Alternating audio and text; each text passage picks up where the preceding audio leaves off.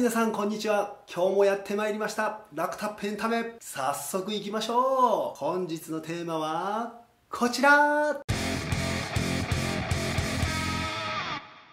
はい。本日のテーマもラクタップエンタメ勝手にインプレッションということでいろんなことを勝手に感想を述べていきたいと思います。ということでですね今回やはり私大好きな映画についてまたまた語っていきたいと思います。今日語っていきたい映画はなんと今話題の1917命をかけた伝令という映画です。えなぜ僕この映画語っていきたいかなと思ったのはまずまあ皆さんご存知と思うんですがこの映画のまず一つの売りがですねワンカット撮影というのがすごく話題だったんですよね。ワンカットといえば今皆さん方で一番もしかして新しい記憶にあると思えばカメラを止めるなの。冒頭の35分間カメラずっと長回しで撮るっていったあんな感じのやつです。で、えー、結論から申しますとこの映画ワンカットでは撮ってません。ワンカット風で撮ってます。というのはなぜかっていうとそもそも時間軸が約1日ぐらいあるんですよね。映画約2時間なのでワンカットで2時間ってことは2時間ものしか撮れないということになってくるので、まあ、そこはですねワンカット風なのかなと思います。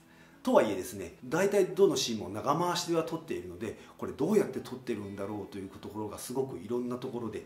気になりました。でまあ僕ずっと見てて思ったのは、まあ、何箇所かですね、えー、分かりやすい編集点はあります。あここでカットかかってここでつなげていったんだなっていうのは分かるんですけどもそうですねそうは言っても僕がはっきり分かったのは3箇所ぐらいですかね。多分もっとそれよりいっぱいあるとは思うんですけどももしですねこの辺だよってもし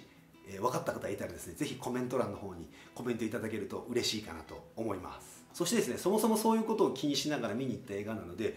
最初はですねこのシーンどんな風に撮ってるんだろうということで、えどんどん気になってはいたんですけどもストーリーが進むにつれてですねそんなことをもう気にしてられずただひたすらその世界に入り込んでいました。そしてまあこの映画の、えー、内容を簡単に言いますと第一次世界大戦のドイツと連合軍の戦いを背景にしてましてストーリーとしてはですねイギリス軍の兵士が1600人の命を救うために前線部隊に伝令を届けるといった至ってシンプルなストーリーになってます。そしてですねこの映画でとてもなんかいいなと思うところがあるんですけどまずですね予備知識が全くいらないです。例えばこう戦争ものとかなると確実にその時代の誰が大統領でとか予備知識が非常にいるんですけどもこれはもう全く予備知識なく兵士のただひたすら命を救うために伝令を届けるといったところに焦点を置いてますので複雑な背景を知らなくても純粋に楽しめるというところです。もう一つはですね戦争映画ではあるんですけども銃撃戦や流血シーンがあまりないところです。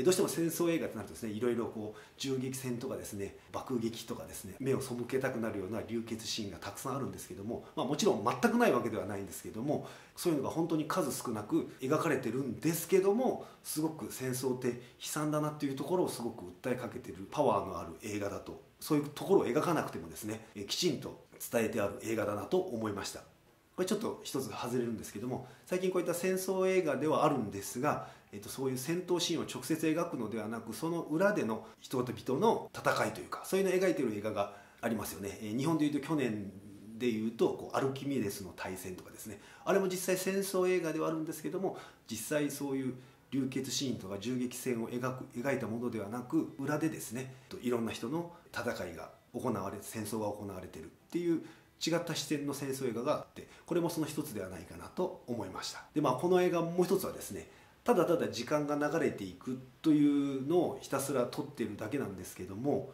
だからその派手な演出もないんですよね。でもですねもう途中ハラハラドキドキしてもう本当にこういった状況で見てて時には涙するといったシーンもあって新しい感覚の映画だなと思いました。結論から言うとですね誰もが構えずに見れてそしてすごいあのドキュメントを見てるような感じでした。普通は映画ってあの第三者から見ますよね僕らが。このなんだろう悪役とこの正義のヒーローが戦ってそれをどうなっていくんだろうって言って普通の映画は第三者目線で見るんですけども